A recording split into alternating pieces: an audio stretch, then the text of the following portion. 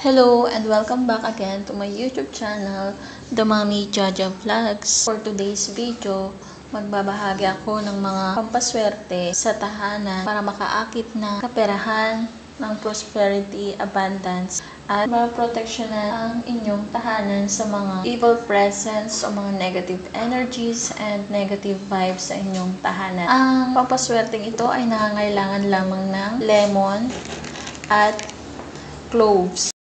Ang cloves ay nabibili sa palengke at pwede din makabili sa mga online store like Shopee and Lazada. Ang pamamaraan na ito ay napakadali lang.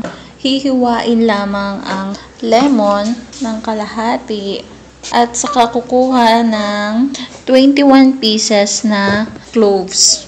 At itutusok ang 21 pieces na cloves sa lemon. Habang tinutusok ang cloves sa lemon ay mag-wish ng mga kahilingan na magkaroon ng prosperity, makaakit ng pera, magkaroon ng maraming pera, proteksyonan ang inyong tahanan, matupad ang mga pangarap sa buhay, magkaroon ng mga pinapangarap mo, good health i-wish na din sa inyong ginagawa na pampaswerte.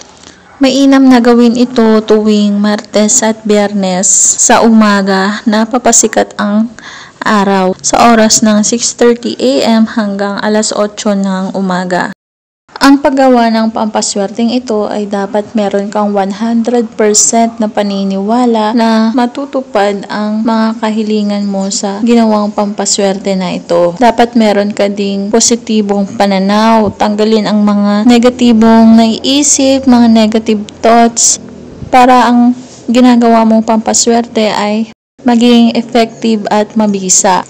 At pagkatapos mong magawa ang pampaswerteng ito ay ilalagay naman ito sa babasagin na platito. Saka ito ilalagay sa ilalagay sa ibabaw ng cabinet o sa ilalim ng inyong kama. Hayaan ito sa ilalim ng kama o sa ibabaw ng cabinet ng within 7 days. Saka ka ulit gumawa ng panibago. Tandaan, ang mga pampaswerteng ito ay gabay lamang. Tanging ang pagsusumika, pagsisipag at pagtsatsaga ang siyang makakatulong sa atin para tayo ay umunlad at maasam ang pangarap na yumaman. Kaya galaw-galaw, kumilos at magtrabaho. Ang mga ito ay magsisilbing gabay lamang. At laging manalangin sa poong may kapal.